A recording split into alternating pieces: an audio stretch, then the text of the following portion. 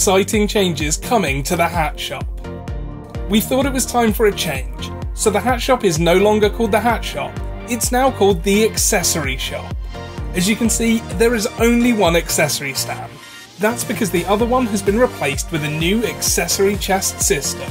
These accessory chests contain 40 brand new accessories in all different rarities, including 4 animated legendary items.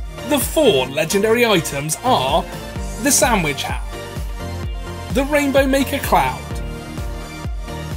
the Nest of Eggs Hat, and the Toaster Hat. This board will show you which accessories you have left to get to complete your collection, just like the nursery.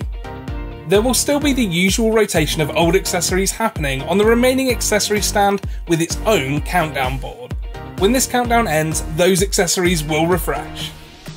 Here's a sneak peek at some of the 14 new accessories you can get from the treasure chests.